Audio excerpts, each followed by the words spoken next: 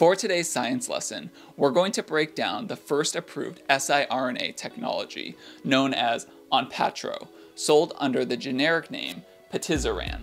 And I already discussed how siRNA technology worked in one of my previous videos, so I'll link that video to this video's description below. However, Onpattro is designed specifically for a condition known as HATTR, that stands for Hereditary Transthyretin Mediated Amyloidosis. And that's a buildup of a misfolded transthyretin protein in the liver. So the protein is made, but it's not made correctly.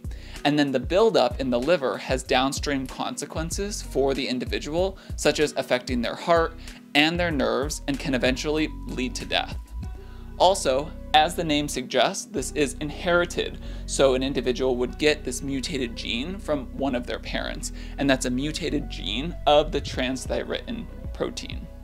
Now, Onpattro, that was approved in 2018, was not only the first siRNA technology, but also the first lipid nanoparticle, or LNP technology. So what it does is it has siRNA encapsulated inside of those lipid nanoparticles. So that's going to direct it right to the liver. And that siRNA is going to be opposite of mRNA that's needed to make that transthyretin protein. So you can almost think of it like two sides of a magnet. The mRNA that makes the transthyretin misfolded protein is already present in the liver. However, once this siRNA comes in contact with the transthyretin gene, it's going to bind to it and not allow it to make that misfolded protein.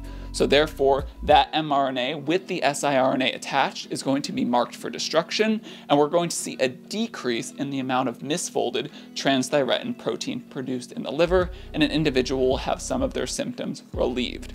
Now, this is a constant injection that an individual would need because this is not a permanent solution.